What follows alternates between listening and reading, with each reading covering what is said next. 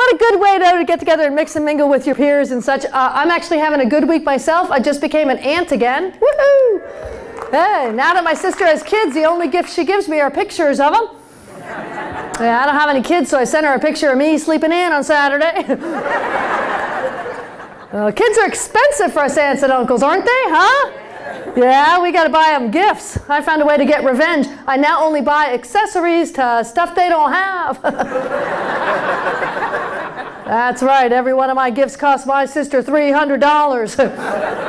I can't wait until Christmas. My niece is going to love her new saddle.